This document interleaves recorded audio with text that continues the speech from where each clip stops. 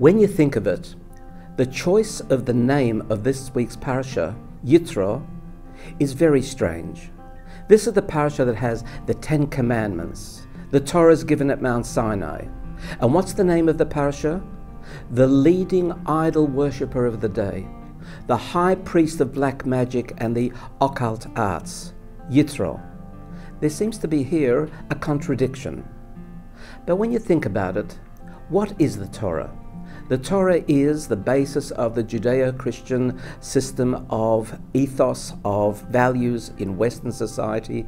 It's the uh, uh, mother of Christianity and Islam. It's who we all are, basically, in the Western world and the Eastern world to a large extent. And yet, it's the aspect of Yitro that makes it possible. Yitro may have been the high priest of Midian, but he transformed. He decided monotheism is the right path. And his personal work at transformation and leaving the dark arts and in fact becoming a Jew is a lesson for all of us. To be able to climb our own personal Mount Sinai, each one of us has to transform and master ourselves. And in so doing, we deserve to climb every mountain, as Richard Rodgers noted. Therefore, let me ask you are you ready to climb your Mount Sinai?